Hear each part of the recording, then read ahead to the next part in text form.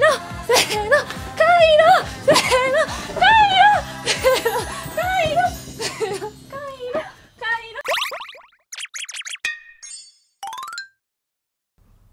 みんなこんにちは。科学のお姉さんこと五十嵐美希です。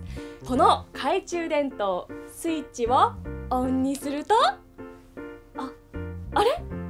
電気がついてないね。もしかしたら電池を逆向きに入れちゃったのかもしれない。うーんということで電気はつなぎ方によって流れる時と流れない時があるんだよ。今日はどんなつなぎ方の時に電気が流れるか実験してみよう。それではレッツサイエンス。それではいろいろな回路を作ってみよう。じゃあどうしようかな。まずはじゃあここをつないでみて。ワクワクするね。どうしようかな。じゃあこっちを。ここにつないでみようかな。はい。じゃあこの回路は電気がつくでしょうかつかないでしょうか。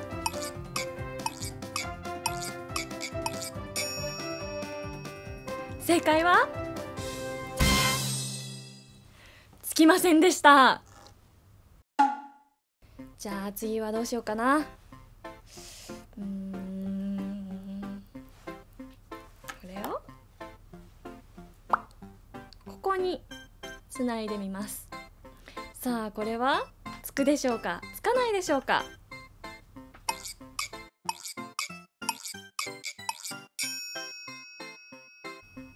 正解は？つきませんでした。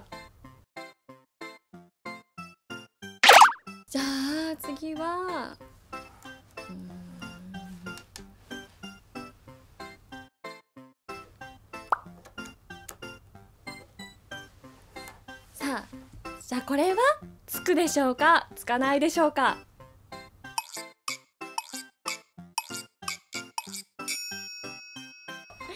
正解は？つきました！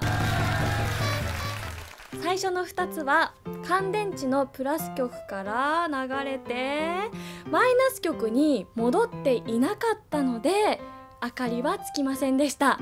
乾電池のプラス極豆電球乾電池のマイナス極をぐるーっと一つの輪になるようにつなぐと電気がつきました。この電気の通り道を回路と言います。次は応用編にチャレンジしてみよう。乾電池と豆電球を増やしてみるよ。どんな回路を作ってみようかな。つないで。こうして。さあ。ふん楽しい。回路 よし。さあではこの回路では電気がつくでしょうか。つかないでしょうか。よく考えてみてね。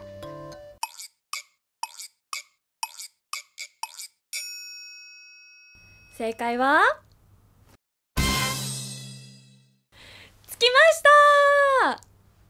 回路はプラス極からぐるーっときてマイナス極までちゃんとつながっているよね。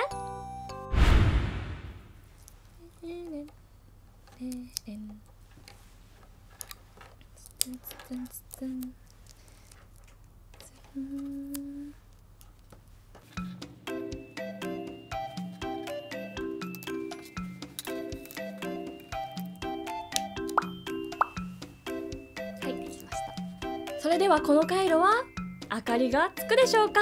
つかないでしょうか？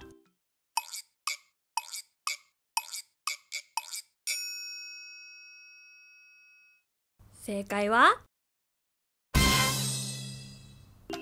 つきませんでした、はあ。この回路は乾電池のプラス極から流れてあれ？マイナス極じゃないね。そうさっきと電池の向きが逆なので明かりはつきませんでした。よし。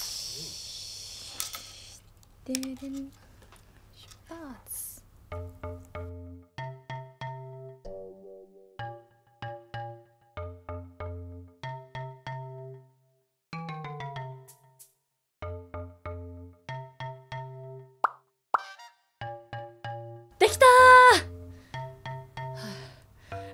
ということでこの回路は明かりがつくでしょうかつかないでしょうか？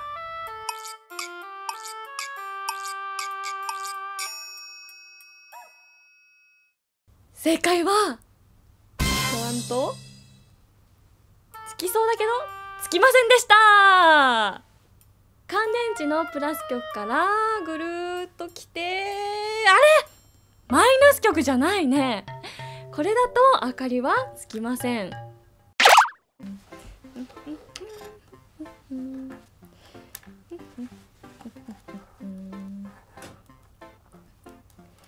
回路回路。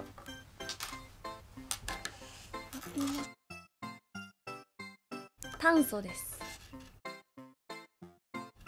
その心はダイヤモンドにもなり得るし灰にもなり得るし。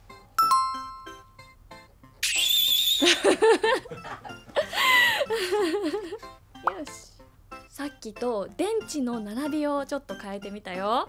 さあこの回路は電気がつくかな？つかないかな？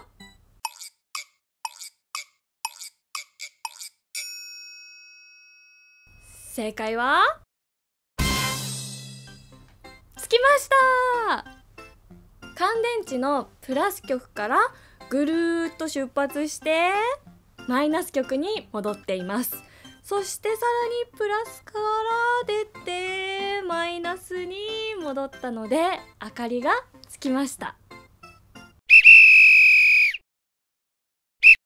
それでは今日のまとめ。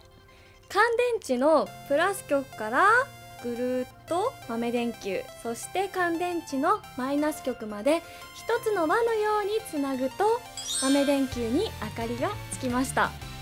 そしてこの電気の通り道のことを回路ということを学びました。最後にみんなで言ってみようか。回路せーの回路せーの回路せーの回路せーの回路せーの回路せーの回路せーの回路回路回路それで忘れないねねさあみんな今日の実験はどうだったかな？これで回路はもうバッチリだね。また次の実験でお会いしましょう。バイバーイ。